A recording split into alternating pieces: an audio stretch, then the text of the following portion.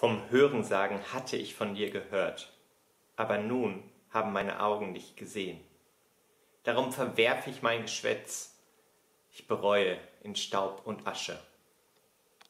Hiob sagt diesen Satz im Gebet zu Gott. Das Bemerkenswerte ist, er sagt es nicht, nachdem er ein großes Wunder erlebt hat. Er sagt es im Angesicht des tiefsten Leides, nachdem er alles verloren hat. Seine Erfahrung dahinter ist, es gibt nichts, was uns gehört, nichts, was wir verdient hätten, nichts, worauf wir Anspruch hätten. Alles ist in der Hand Gottes. Ist das eine Erfahrung, die auch wir schon gemacht haben in dieser Krise? Haben auch unsere Augen schon Gott gesehen? Der Satz und diese Erfahrung von Hiob passen auch zu Mama Maria. Sie lebt in Dundee, Südafrika, in einer informellen Siedlung, ohne Wasser, ohne Strom, in einem selbstgebauten Lehmhüttchen.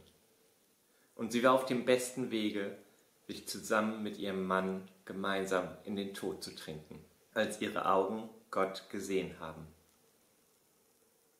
Sie bereute und fand ihre Berufung und ist nun eine selbstbewusste, stolze und dankbare Frau die nun mit ihrem Engagement und ihrer Nachbarschaft zu einem Hoffnungspunkt geworden ist. Ein junger Fotografiestudent im dritten Semester aus dem gleichen Städtchen Dundee schoss diese Bilder. Und zu seiner eigenen Überraschung ist er damit in die Top 10 Endauswahl des Sony World Photography Awards 2021 für Nachwuchsfotografen gekommen. Seine Fotoreihe hat den Titel My Local Leaders.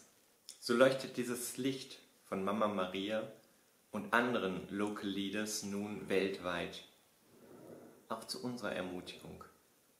Der junge Fotograf sagt, jede Begegnung mit diesen Menschen in seiner Fotoreihe hat ihn geändert.